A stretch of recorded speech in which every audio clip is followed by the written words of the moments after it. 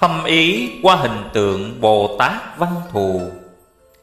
Ngài Văn Thù tượng trưng căn bản trí. Tay mặt Ngài cầm kiếm là biểu thị trí đức. Dùng trí tuệ sáng suốt, Phá tan tất cả vô minh hắc ám. Ánh sáng trí tuệ soi đến đâu, hắc ám tan đến đấy. Như dũng sĩ cầm kiếm bén, Xông pha trong trận mạc.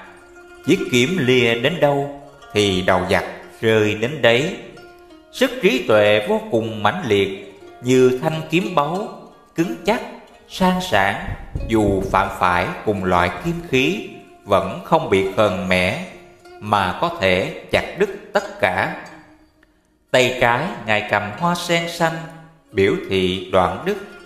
Đối với tự thân cũng do sức trí tuệ dứt sạch mọi nhiễm ô tham ái Như hoa sen ở trong bùn mà không nhiễm bùn. Bồ Tát không phải người ẩn nơi non cao rừng thẳm Sống trong cảnh thanh tịnh u nhàn Mà là người sống chung đụng với quần chúng Lăn lộn trong đám bụi trần để cứu độ chúng sanh. Nên có lúc ra làm vua, có lúc làm quan cũng có khi làm kẻ tật nguyền cùng khổ. Tuy sống trong dục lạc dãy đầy, Mà Bồ Tát vẫn giữ tâm thanh tịnh, Không bị ô nhiễm như người đời. Đó là nhờ trí tuệ dứt sạch tham ái, viên thành đoạn đức. Chiếc giáp ngài mang trên người gọi là giáp nhẫn nhục. Nhờ nó nên các mũi tên thị phi không xâm phạm vào thân. Nó che chở cho bồ tát vẹn toàn tâm từ bi. Bọn giặc sân hận oán thù, không thể nào xúc não được hạnh nguyện của bồ tát. Bồ tát không bao giờ rời chiếc giáp nhẫn nhục.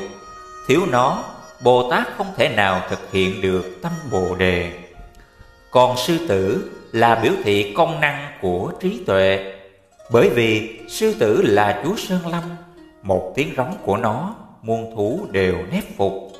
Bồ Tát do trí tuệ viên mãn hay thuyết pháp phá dẹp tất cả tà thuyết Một phen chánh pháp vang lên, Mọi tà thuyết đều ẩn nấu Như một phen sư tử rống lên thì muôn thú đều kinh tâm tán đỡm chúng ta thờ phụng, đảnh lễ bồ tát văn thù là để hướng về trí tuệ sẵn có của chúng ta. Lâu rồi, chúng ta mãi sống quay cuồng theo vô minh tham ái trôi lăn trong biển sanh tử luân hồi, chịu chập chồng muôn nỗi khổ đau. Giờ đây, chúng ta hãy tỉnh dậy quay về với trí tuệ sẵn có của mình. Dùng thanh gươm trí tuệ, chặt đứt lưới tham ái để vượt ra khỏi bể khổ thâm sâu. Chỉ có trí tuệ mới đủ công năng cứu ta ra khỏi vòng luân hồi nghiệp báo sau khi tự cứu được mình bằng khả năng trí tuệ, chúng ta lại dùng nó tuyên dương chánh pháp, hóa độ quần mê. Được vậy, phần tự lợi và lợi tha mới được đầy đủ. Tuy nhiên, Người chiến sĩ muốn chiến thắng kẻ thù phiền não, Muốn cứu thoát mọi người ra khỏi vòng kềm hãm của chúng, Thì lúc nào trong người cũng không rời chiếc giáp nhẫn nhục. Được thế mới chắc chắn thành công. Cũng vậy chúng ta muốn tự giác, giác tha Thì hạnh nhẫn nhục không lúc nào dám sao lãng.